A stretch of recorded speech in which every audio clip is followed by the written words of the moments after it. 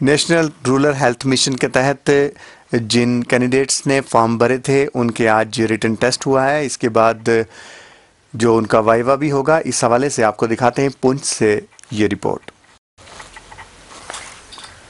वहीं इस हवाले से डिप्टी कमिश्नर पुंछ ने आज के इस टेस्ट के हवाले से तफसीलात जो स्टाफ नर्स हैं, उनका उनका एक रिटर्न एग्ज़ाम हुआ और इसमें करीब 360 बच्चियाँ जो थी जो कैंडिडेट्स थे उन्होंने अपियर होना था लेकिन अराउंड 150 के अराउंड बच्चियाँ जो है वो अपियर हुई।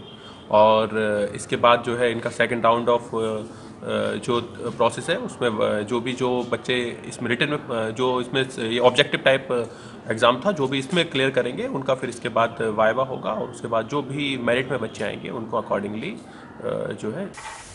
Chief medical officer Poonch doctor Mumtaz Bhatti ने इसकी तफसीलात कुछ यूँ बताएँ। की अंडर एन एच एम तकरीबन चौदह के करीब तो उनका जो है, हमने जो है नोटिफिकेशन की थी तो तकरीबन कोई साढ़े तीन सौ के करीब जो है बच्चे उन्होंने अप्लाई किया था, बच्चियाँ जिन्होंने अप्लाई किया था तो उनमें से आज कोई 136 ही आए। तो हाँ डिग्री कॉलेज में डी साहब की डायरेक्शन में हमने रखाया था। उनका रिटर्न टेस्ट जो है कंडक्ट करवाया। और ये जो है चौदह पोस्ट्स के लिए है। उसके बाद इनका जो है on the basis of merit जो है वन इज़ टू फाइव जो है जो टॉप मेरिट में बच्चे आएँगे उनका शॉर्ट लिस्ट करके नोटिफाई करके उसके बाद जो है सब्सिक्वेंटली हम इंटरव्यू करके तो ये पोस्टें जो है फिल कर देंगे। आपको हम खबर दिखा रहे हैं महेंद्र से जहाँ पे महेंद्र में रैबरे खेल के तहत जो लिस्ट आई है उस पे कैंडिडेट्स ने सवाल खड़े किए हैं और उन्होंने इल्ज़ाम लगाए हैं कि ये लिस्ट मेरिट बेस्ड नहीं है। आइए आपको दिखाते हैं क्या कहते हैं ये लोग। इसके हिसाब से जो ये रेबरे खेल की लिस्ट हमारा वाइवा वो था जुलाई में।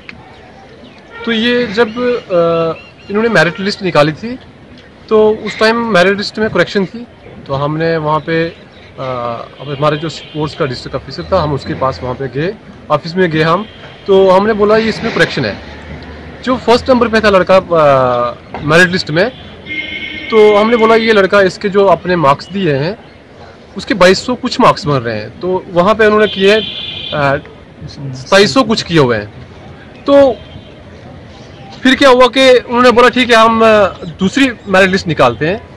जब दूसरी मेरिट लिस्ट उन्होंने निकाली तो उस, उसमें उसका नंबर आ रहा था 59 59 नंबर आ रहा था तो फिर जब इन्होंने कल लिस्ट निकाली तो उसका जो ये फाइनल लिस्ट निकली, उसका, उसमें दूसरा नंबर आ रहा है।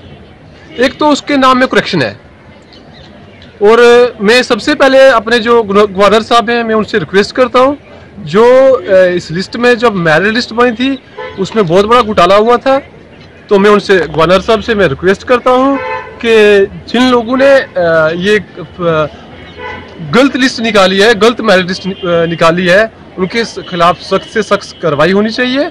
और उसके बाद जो इन लोगों ने फेक डिग्री लगाई थी, जैसे कुछ बीच में जो अभी जो फाइनल लिस्ट निकली है, उसमें दो तीन जो फेक डिग्री वाले हैं तो उनके खिलाफ भी सख्त से सख्त कार्रवाई होनी चाहिए, जिन्होंने फेक डिग्री उनको दी है, जहाँ से उन्होंने लाई है, उनके खिलाफ भी एक अच्छी सी ईमानदार कमेटी बनानी चाहिए, जो जिन लोगों ने ये घोटाला किया है, उनके खिलाफ कड़ी से कड़ी एक स्टेप उठाया जाए।